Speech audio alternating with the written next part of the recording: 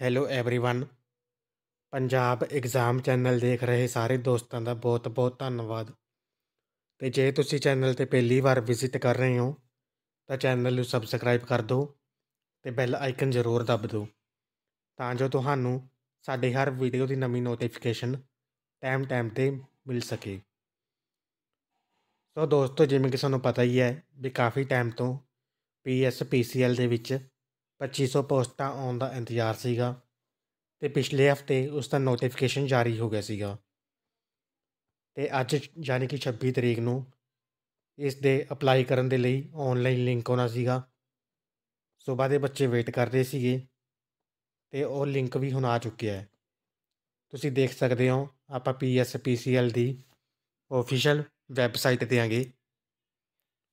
ਸੋ ਹੁਣ ਜ਼ਿਆਦਾ ਟਾਈਮ ਨਾ ਖਰਾਬ ਕਰਦੇ ਹੋਏ ਮੈਂ ਤੁਹਾਨੂੰ ਲਿੰਕ ਤੇ ਲੈ ਚੱਲਦਾ। ਜੋ ਜੋ ਤੁਸੀਂ ਇਸ ਪੇਜ ਤੇ ਆ ਗਏ, ਤਾਂ ਤੁਸੀਂ ਸਭ ਤੋਂ ਨੀਚੇ ਚਲੇ ਆਉਣਾ ਹੈਗਾ, ਜਿੱਥੇ ਲਿਖਿਆ ਹੋਇਆ ਹੈ ਰਿਕਰੂਟਮੈਂਟ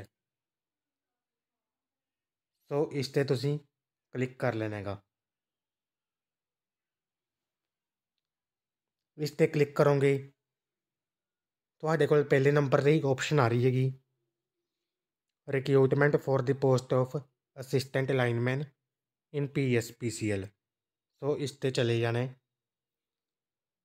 ਜਦੋਂ ਇਸ ਤੇ ਆ ਗਏ, ਤਾਂ ਆ ਜੋ ਲਿੰਕ ਦਿੱਤਾ ਹੋਇਆ ਪਹਿਲਾਂ, link for applying online for recruitment of ALM ਇਸ ਤੇ ਤੁਸੀਂ ਕਲਿੱਕ ਕਰ ਦੇਣਾਗਾ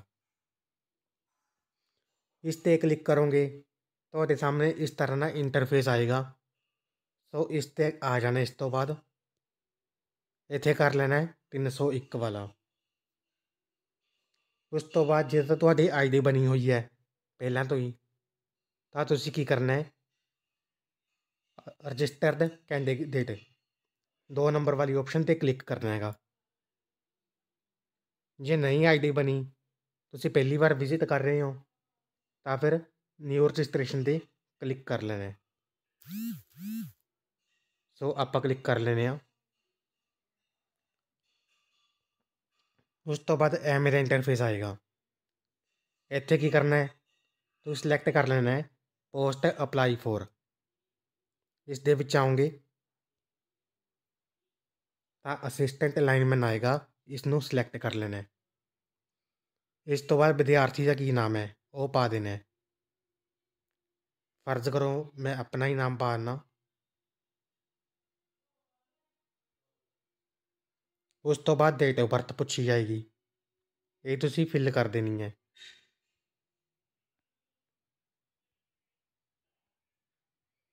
ਉਸ ਤੋਂ ਬਾਅਦ ਫਾਦਰ ਨੇਮ ਆ ਜਾਏਗਾ। ਜੋ ਵੀ ਫਾਦਰ ਨੇਮ ਹੋਏਗਾ, ਇੱਥੇ ਮੋਬਾਈਲ ਨੰਬਰ ਪੁੱਛੇਗਾ। ਤੁਸੀਂ ਕੀ ਕਰਨਾ ਮੋਬਾਈਲ ਨੰਬਰ ਭਰ ਦੇਣਾ ਹੈ। ਜੋ ਵੀ ਹੋਏਗਾ। ਉਸ ਤੋਂ ਬਾਅਦ ਈਮੇਲ ਆਈਡੀ ਪੁੱਛੇਗੀ। ਈਮੇਲ ਵੀ ਭਰ ਭਰ ਦੇਣੀ ਹੈ। ਉਸ ਤੋਂ ਬਾਅਦ ਕੀ ਕਰਨਾ ਹੈ? ਸੈਂਡ ਓਟੀਪੀ ਤੇ ਕਲਿੱਕ ਕਰਨਾ ਹੈ। ਜਦੋਂ ਮੋਬਾਈਲ ਨੰਬਰ ਤੇ ਈਮੇਲ ਆਈਡੀ ਪੈ ਗਈ। ਇਸ ਤੇ ਕਲਿੱਕ ਕਰੋਗੇ, ਤੁਹਾਡੇ ਕੋਲ ਦੋ ਮੈਸੇਜ ਆਉਣਗੇ, ਇੱਕ ਮੋਬਾਈਲ ਤੇ, ਇੱਕ ਓਟੀਪੀ ਦੇ ਉਹ ਦੋਨੋਂ ਇੱਥੇ ਫਿਲ ਕਰਕੇ ਵੈਰੀਫਾਈ ਓਟੀਪੀ ਤੇ ਕਲਿੱਕ ਕਰ ਦੇਣਾ ਜਦੋਂ ਇਹ ਵੈਰੀਫਾਈ ਹੋ ਜਾਏਗਾ, ਤੁਹਾਡੇ ਕੋਲ ਐਪਲੀਕੇਸ਼ਨ ਫਾਰਮ ਖੁੱਲ ਜਾਏਗਾ। ਅਤੇ ਨਾਲ ਤੁਹਾਨੂੰ ਜੋ ਲੌਗਇਨ ਆਈਡੀ ਵਾਲਾ ਹੈਗਾ ਯੂਜ਼ਰ ਨੇਮ ਉਹ ਮਿਲ ਜਾਏਗਾ। ਇਸ ਤੋਂ ਬਾਅਦ ਦਾ ਕੀ ਪ੍ਰੋਸੈਸ ਹੈ, ਅੱਗੇ ਦੱਸਦੇ ਹਾਂ।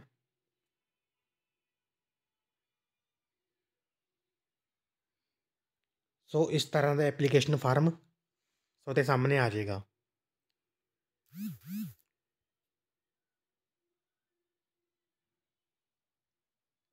ਇੱਥੇ ਲਿਖਿਆ ਹੋਇਆ ਹੈ, ਆਰਜੂ ਡੋਮਿਸਾਈਲ ਆਫ ਪੰਜਾਬ ਕੀ ਤੁਸੀਂ ਪੰਜਾਬ ਦੇ ਵਸਨੀਕ ਹੋ।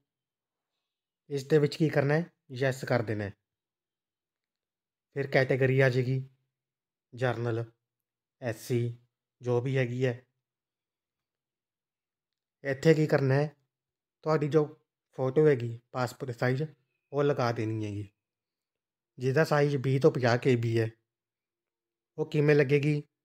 ਇਹ ਜੋ ਚੂਜ਼ ਫਾਈਲ ਲਿਖਿਆ ਹੋਇਆ ਹੈ, ਇਸ ਤੇ ਕਲਿੱਕ ਕਰਕੇ ਤੁਹਾਡੇ ਕੋਲ ਗੈਲਰੀ ਖੁੱਲ ਜੇਗੀ। ਉਸ ਤੋਂ ਬਾਅਦ ਅਪਲੋਡ ਪਿਕ ਕਰ ਦੇਣੀ ਹੈ। ਫਿਰ ਨੀਚੇ ਆ ਜਾਣਾ ਹੈ। ਇੱਥੇ ਜੈਂਡਰ ਭਰ ਦੇਣਾ ਹੈ ਕੀ ਹੈਗਾ। ਉਸ ਤੋਂ ਬਾਅਦ ਇੱਥੇ ਸਾਈਨ ਮੰਗੇ ਨੇ। ਇਸ ਦੇ ਵਿੱਚ ਸਾਈਨ ਅਪਲੋਡ ਕਰ ਦੇਣੇ ਨੇ। ਸੇਮ ਪ੍ਰੋਸੈਸ ਹੈ। ਚੂਜ਼ ਫਾਈਲ ਜਾ ਕੇ ਅਪਲੋਡ ਸਾਈਨ ਕਰ ਦਿਓ। ਉਸ ਤੋਂ ਬਾਅਦ ਮੈਰਿਟਲ ਸਟੇਟਸ ਆ ਜਾਏਗਾ ਜਿਵੇਂ ਮੈਰਿਟ ਕਰ ਦਿਓ। ਨੈਸ਼ਨੈਲਿਟੀ ਆ ਜਾਏਗੀ ਕੀ ਹੈ, ਇੰਡੀਅਨ ਹੈ। ਉਸ ਤੋਂ ਬਾਅਦ ਕਾਲਮ ਆਉਂਦਾ ਹੈ ਨੌਲੇਜ ਆਫ ਪੰਜਾਬੀ। ਕੀ ਤੁਹਾਨੂੰ ਪੰਜਾਬੀ ਦੀ ਨੌਲੇਜ ਹੈ, ਤਾਂ ਇੱਥੇ ਭਰਨੀ ਹੈ ਯੈਸ ਉਸ ਤੋਂ ਬਾਅਦ ਕਾਲਮ ਆਉਂਦਾ ਹੈ serving EMPLOYEE of PSPCL PSCB Punjab government ਵੀ ਆਪਾਂ ਕੰਮ ਕਰ ਰਹੇ ਹਾਂ ਪੀਐਸਪੀਸੀਐਲ ਲਈ ਜਾਂ ਪੀਐਸਸੀਬੀ ਲਈ ਜਾਂ ਹੋਰ ਕੋਈ ਵੀ ਅਦਾਰਾ। ਜਿਹੜਾ ਪੰਜਾਬ ਰਾਜ ਹੈ, ਤਾਂ ਇੱਥੇ ਨੋ ਕਰ ਦੇਣਾ ਹੈ। ਜੇ ਤੁਸੀਂ ਕੰਮ ਕਰ ਰਹੇ ਹੋ ਤਾਂ ਯੈਸ ਕਰ ਦੇਣਾ ਹੈ। ਫਿਰ ਤੁਹਾਡੇ ਕੋਲ ਇਹ ਆਪਸ਼ਨ ਆ ਜਾਏਗੀ ਵੀ ਕਿੰਨੇ ਸਾਲ ਹੋ ਗਏ, ਕਿੰਨੇ ਮਹੀਨੇ ਹੋ ਗਏ ਤੇ ਕਿੰਨੇ ਦਿਨ।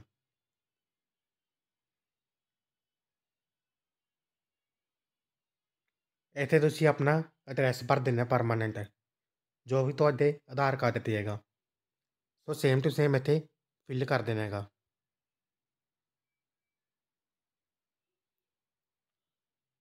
ਇੱਥੇ ਸਟੇਟ ਸਿਲੈਕਟ ਕਰ ਲੈਣੀ ਹੈ ਪੰਜਾਬ।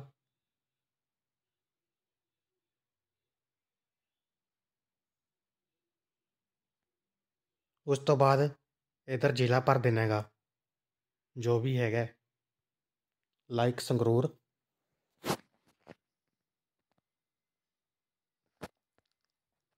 ਇੱਥੇ ਪਿੰਨ ਕੋਡ ਭਰ ਦੇਣਾ ਹੈ।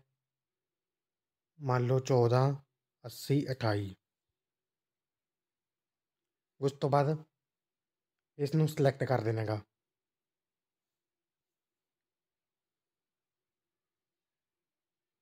ਉਸ ਤੋਂ ਬਾਅਦ ਕੀ ਹੈ? 10ਵੀਂ ਦੀ ਇਨਫੋਰਮੇਸ਼ਨ ਪੁੱਛੀ ਹੈ ਕੁਆਲੀਫਿਕੇਸ਼ਨ ਡਿਟੇਲ ਦੇ ਵਿੱਚ। ਇੱਥੇ ਜੇ ਤਾਂ ਤੁਹਾਨੂੰ ਕੋਰਸ ਦਾ ਪਤਾ ਹੈ ਵੀ ਕਿਹੜਾ ਕੋਰਸ ਸੀ, ਉਹ ਭਰ ਦੇਣਾ ਨਹੀਂ, ਆਪਣੇ ਸਬਜੈਕਟ ਫਿਲ ਕਰ ਦਿਓ ਇਹ ਤਾਂ ਗਲਤ ਹੋ ਜੇ। ਜਿਵੇਂ ਜੋ ਵੀ ਹੁੰਦੇ ਨੇ ਆਪਣੇ 10ਵੀਂ ਦੇ English Hindi math science Punjabi, ਉਹ ਸਾਰੇ ਇੱਥੇ ਫਿਲ ਕਰ ਦਿੰਦੇ ਨੇ। ਇੱਥੇ ਭਰ ਦੇਣਾ ਪੰਜਾਬ ਸਕੂਲ ਐਜੂਕੇਸ਼ਨ ਬੋਰਡ ਇਹ ਛੋਟੇ ਅੱਖਰ ਨੇ, ਪਰ ਤੁਸੀਂ ਸਾਰੇ ਵੱਡੇ ਅੱਖਰਾਂ 'ਚ ਭਰਨੇ ਨੇ।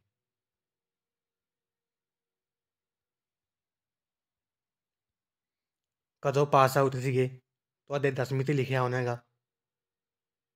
ਕਿੰਨੇ ਨੰਬਰ ਸੀਗੇ? ਤੇ ਕਿੰਨਿਆਂ ਦੇ ਵਿੱਚੋਂ? ਪਰਸੈਂਟੇਜ ਆਪਣੇ ਆਪ ਚੱਕ ਲਏਗਾ। ਮੰਨ ਲਓ 940 ਨੰਬਰ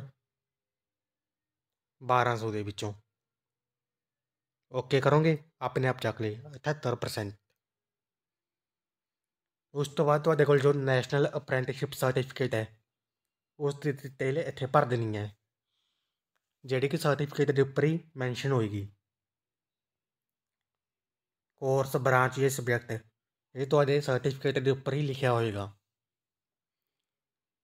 ਉਸ ਤੋਂ ਬਾਅਦ ਬੋਰਡ ਕਿਹੜਾ ਹੈ ਪੀਐਸਪੀਸੀਐਲ ਪੀਐਸਈਬੀ ਇਹ ਸਿਲੈਕਟ ਕਰਨਾ ਹੈ ਈਅਰ ਆਫ ਪਾਸਿੰਗ ਤੇ ਕਿੰਨੇ ਨੰਬਰ ਨੇ ਇਹ ਵੀ ਤੁਹਾਡੇ ਸਰਟੀਫਿਕੇਟ ਦੇ ਉੱਪਰ ਹੋਏਗਾ ਸੋ ਤੁਸੀਂ ਉਸ ਤੋਂ ਉੱਪਰ ਉਸ ਤੋਂ ਦੇਖ ਕੇ ਫਿਲ ਕਰ ਦੇਣਾ ਹੈ ਉਸ ਤੋਂ ਬਾਅਦ ਇਹ ਦੋਨੇ ਚੈੱਕ ਬਾਕਸ ਨੂੰ ਕਲਿੱਕ ਕਰ ਦੇਣਾ ਹੈ ਯੈਸ ਇਹ ਕਰੋਗੇ ਤਾਂ ਤੁਹਾਡੇ ਕੋਲ ਜੋ ਆਪਸ਼ਨ ਹੈ ਉਹ ਖੁੱਲ ਜੇਗੀ। ਇਹ ਵਾਲੀ। ਸੇਵ ਐਂਡ ਪ੍ਰੀਵਿਊ ਇਹ ਤੇ ਕਲਿੱਕ ਕਰੋਗੇ, ਤਾਂ ਤੁਹਾਡਾ ਫਾਰਮ ਫਿਲ ਹੋ ਜਾਏਗਾ ਤੇ ਤੁਹਾਨੂੰ ਫੀਸ ਭਰਨ ਦੇ ਲਈ ਅਗਲੀ ਵੈਬਸਾਈਟ 'ਤੇ ਲਿਆ ਜਾਇਆ ਜਾਏਗਾ।